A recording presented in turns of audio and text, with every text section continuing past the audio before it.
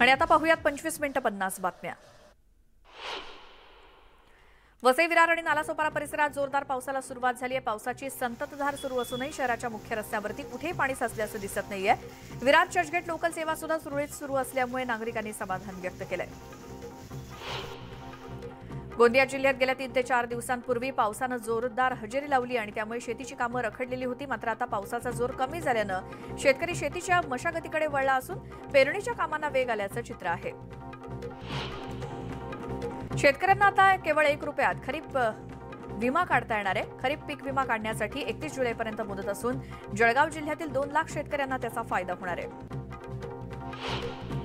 पालघरमध्ये महामार्गाच्या उभारणीवेळी नैसर्गिक नाले बुजवल्यामुळे अनेक शेतकऱ्यांना त्याचा फटका बसलाय. गिराळे नागावे पारगाव साखरे या परिसरातील भातशेती पाण्याखाली गेली असून पेरणी केलेली बियाणं सुद्धा कुजायला सुरुवात झाली आहे. जुलै महिना उजाडला तरी पाऊस नसल्यामुळे लातूरमधील शेतकरी हवालदिल झालेत. काही शेतकऱ्यांनी हलका पाऊस असतानाच पेरणीला सुरुवात केली मात्र पेरणी योग्य पाऊस झाल्यावरच पेरणीला सुरुवात करा असं आवाहन कृषी विभागाकडून करण्यात आलंय. गोंदियातील सहा धान खरेदी केंद्रांना जिल्हा मार्केटिंग फेडरेशननं नोटीस बजावली आहे. गोरेगाव आणि तिरोडा तालुक्यातील सहा धान खरेदी केंद्रांवरून दहा हजार क्विंटल धान गायब झाल्यामुळे ही कारवाई करण्यात आली. आठ दिवसात धान जमा न केल्यास फौजदारी कारवाईचा इशारा देण्यात आलाय. आंतरराष्ट्रीय बाजारात कापूस वायद्यांमध्ये वाढ झाली असून राज्यातील बाजार समित्यांमधल्या कापूस दरात शंभर ते दीडशे रुपयांची सुधारणा झाली आहे. कापसाला प्रति क्विंटल सरासरी सहा हजार सहाशे ते सात हजार दोनशे रुपये भाव मिळतोय. कापूस दरातली ही सुधारणा टिकू शकते असा अंदाज अभ्यासकांचा आहे.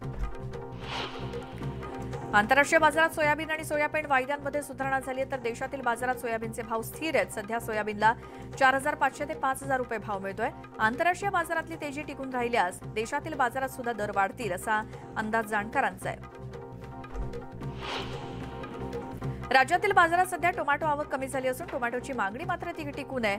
त्यामुळे टोमॅटोच्या दरात तेजी असल्याचं पाहायला मिळत आहे नारायणगाव बाजारात टोमॅटोची सर्वाधिक आवक होऊन सुद्धा सरासरी भाव पाच हजार पाचशे रुपये प्रति क्विंटलवरती आहेत. टोमॅटोचे भाव आणखी काही दिवस टिकून राहतील असा अंदाज आहे व्यापाऱ्यांचा.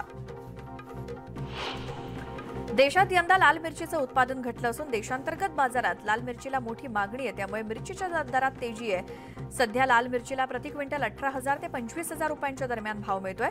दरातील तेजी पुढच्या काळातही टिकून राहील असा अंदाज व्यापाऱ्यांचा आहे.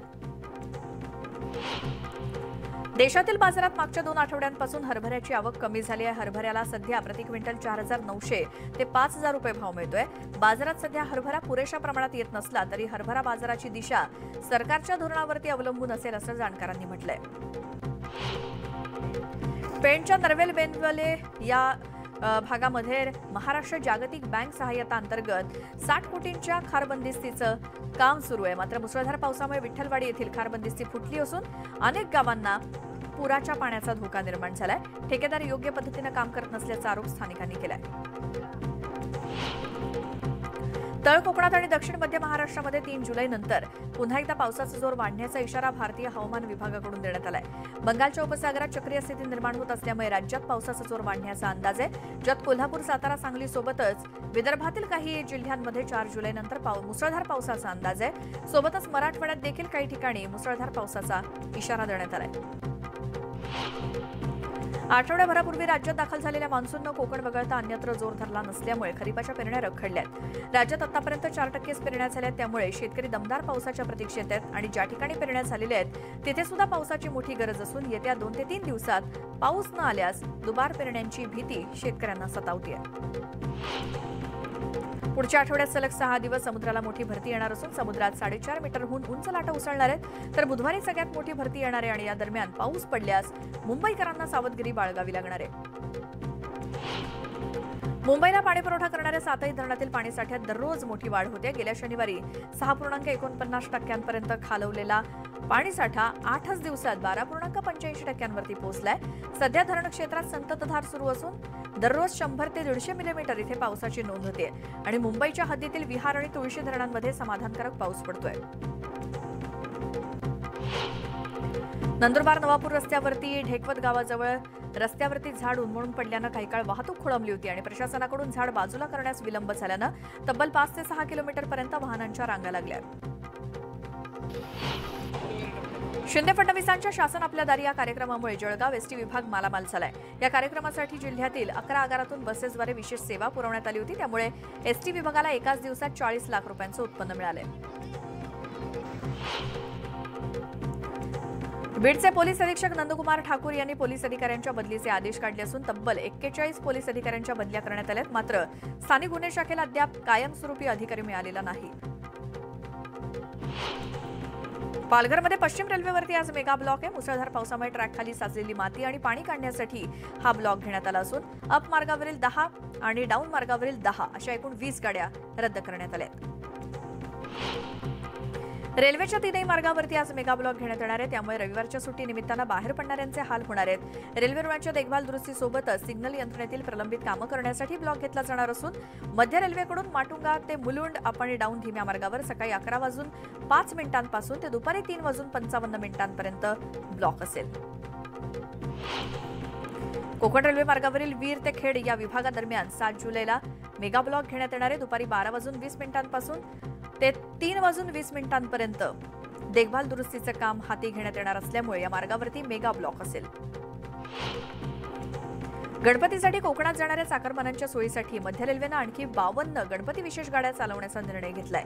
विशेष म्हणजे बावन्न गणपती विशेष गाड्यांमध्ये दिवा चिपळूण दरम्यान छत्तीस मेमू स्पेशल आणि मुंबई बेंगळूर दरम्यान सोळा स्पेशल गाड्यांचा समावेश आहे. आणि काही दिवसांपूर्वी मध्य रेल्वेनं गणपती उत्सवासाठी एकशे छप्पन्न गणपती विशेष रेल्वे गाड्यांची घोषणा केली होती.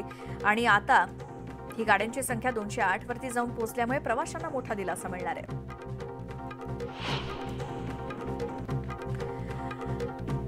महाराष्ट्र राज्य रस्ते विकास महामंडळानं समृद्धी महामार्गावरील वाढते अपघात रोखण्यासाठी कृती आराखड्याअंतर्गत विविध उपाययोजना केलेल्या आहेत.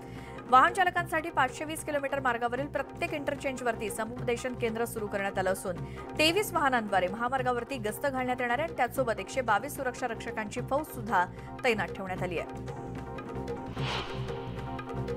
म्हाडाच्या मुंबई मंडळाच्या चार हजार ब्याऐंशी घरांच्या लॉटरीसाठी मुदतवाढ मिळाली आहे. ऑनलाईन अर्ज आणि अनामत रकमेचा भरणा करण्यासाठी दहा जुलैपर्यंतची मुदतवाढ देण्यात आली असून आतापर्यंत सत्त्याण्णव हजार पाचशे त्रेचाळीस अर्ज दाखल झाले. त्यापैकी सत्तर हजार चारशे सत्त्याण्णव अर्जदारांनी अनामत रक्कम भरली आहे. पुणे नाशिक राष्ट्रीय महामार्गावरील जुन्नर तालुक्यातील जांबूत फाटा इथे भर पावसात डांबरीकरण सुरू होतं. या संदर्भात नागरिकांनी महामार्ग प्राधिकरणाच्या अधिकाऱ्यांना कळवलं मात्र काम बंद झालेलं नाही. त्यामुळे मनसेच्या कार्यकर्त्यांनी थेट कामाच्या ठिकाणी धाव घेतली आणि काम बंद पाडलं. पुण्याच्या राजगुरुनगर येथे क्रांतिकारक महात्मा शिवराम हरी राजगुरूंच्या भव्य स्मारकाच्या विकास आराखड्याचं राजगुरुनगरमध्ये सादरीकरण करण्यात आलं आणि या स्मारकातून क्रांतिकारकांचा इतिहास समजावा यातून उच्च शिक्षणाचा संदेशही दिला जावा अशा पद्धतीनं स्मारक उभारण्याचा मानस असून निधी कमी पडू देणार नसल्याचा विश्वास सुधीर मुनगंटीवारांनी व्यक्त केला. मुंबईतील सागरी किनारा मार्ग प्रकल्पांतर्गत दोन महाबोगदे खणण्याचं काम पूर्ण झालंय. बोगदा खणण्याचं काम झालेलं असलं तरी हे बोगदे खणणारे चीनी बनावटीचं तब्बल दोन हजार आठशे टन वजन असलेलं आणि चार मजली उंच मावळा हे यंत्र हटवण्यासाठी तब्बल तीन ते साडेतीन महिने लागणार आहेत. पिंपरी चिंचवड महापालिकेच्या कर संकलन आणि कर आकारणी विभागानं आर्थिक वर्षाच्या पहिल्या तीन महिन्यात चारशे सत्तेचाळीस कोटी रुपये मालमत्ता कर वसूल केलाय. पन्नास टक्क्यांपेक्षा जास्त मालमत्ता धारकांनी पहिल्या तीन महिन्यात कराचा भरणा केलाय. मंत्री उदय सामंत यांनी लांजा येथील कार्यकर्ता मेळाव्यात त्यांचे बंधू किरण सामंत यांच्या रत्नागिरी सिंधुदुर्ग लोकसभा उमेदवारीबाबत सुतोवाच केलाय. माझे शासकीय निवासस्थान मुंबईप्रमाणे दिल्लीतही असावं असं सामंतांनी म्हटलंय. त्यामुळे रत्नागिरी सिंधुदुर्गासाठी शिवसेनेचा उमेदवार ठरल्याची चर्चा सध्या सुरू झाली आहे मुंबईमध्ये ठिकठिकाणी चोर मचाय शोर असे बॅनर्स लावण्यात आले. ठाकरे गटाला उत्तर देण्यासाठी भाजपचे नेते चोर मचाय शोर आंदोलन करणार होते पण बुलडाणा दुर्घटनेमुळे आंदोलन रद्द झालं. मात्र मुंबईत आज शिवसेना भाजप रिपाई युतीचे लोगो असलेले चोर मचाय शोरचे बॅनर्स लावण्यात आले देवेंद्र फडणवीस यांच्या निवासस्थानी भाजप कोर कमिटीची बैठक आज पार पडणार आहे. सकाळी दहा वाजता बैठकीचं आयोजन करण्यात आलंय आणि या बैठकीत केंद्रीय मंत्रिमंडळ विस्तार आणि राज्य मंत्रिमंडळ विस्तारावरती चर्चा होणार असल्याचं बोललं जात आहे.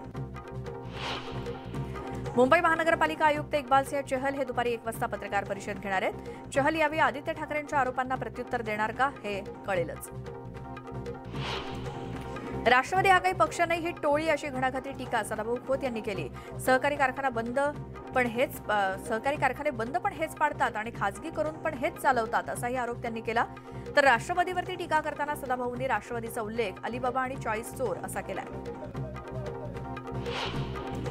मुंबई महानगरपालिकेप्रमाणेच ठाणे कल्याण डोंबिवली अंबरनाथ उल्हासनगर या महापालिकांमध्ये सुद्धा कोविड घोटाळा झाल्याचा आरोप मनसे आमदार राजू पाटील यांनी केलाय. या चौ घोटाळ्यांची चौकशी करण्याची मागणी सुद्धा मनसेकडून करण्यात आली आहे. राष्ट्रवादीचे ज्येष्ठ नेते एकनाथ खडसे यांनी मंत्री गिरीश महाजन यांच्यावरती टीका केली. गिरीश महाजन हे देवेंद्र फडणवीसांच्या जवळचे असल्यामुळे महाजनांवरती कारवाई होत नसल्याचा आरोप खडसेंनी केला.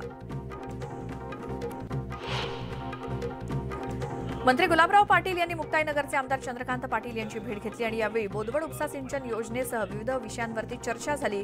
गुलाबराव पाटील यांनी पुढच्या आठवड्यात तातडीनं आढावा बैठक घेण्याचा निर्णय घेतलाय.